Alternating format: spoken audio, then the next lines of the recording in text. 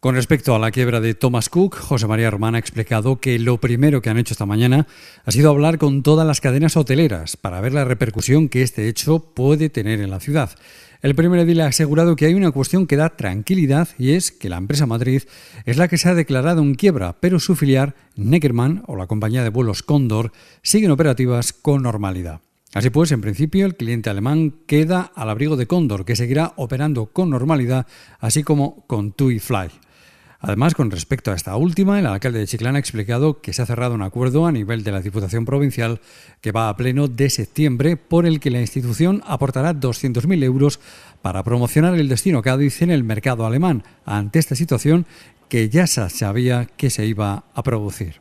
Hemos cerrado un acuerdo a nivel provincial, a nivel de la Diputación Provincial, y que va precisamente a pleno este miércoles al pleno de la Diputación y que anunciamos a lo largo del mes de agosto, por el que eh, se va a aportar una cantidad de dinero desde la Diputación Provincial, que son 200.000 euros, para promocionar el destino de la provincia de Cádiz y con ello obviamente Chiclana en el mercado alemán ante esta situación que ya sabíamos que se iba a producir. Por tanto, digamos que